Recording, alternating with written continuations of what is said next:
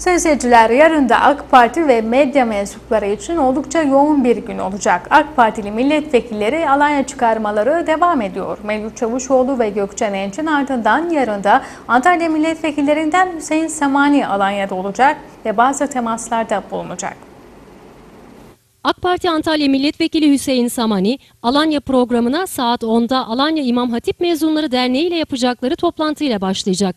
Saat 11'de ilçe yürütme kurulu toplantısı ve saat 12'de ilçe yönetim kurulu toplantısına katılacak olan Samani, öğle yemeğinin ardından saat 15.30'da Alanya merkezde esnaf ziyaretleri ve ardından Mahmutlar Beldesi esnaf ve ev ziyaretleri ile programına son verecek. Samani'nin ziyaretinin ardından 28 Eylül Cumartesi günü ise AK Parti yerel yönetimlerden sorumlu Genel Başkan Yardımcısı ve Antalya Milletvekili Menderes Türel Alanya'ya gelecek.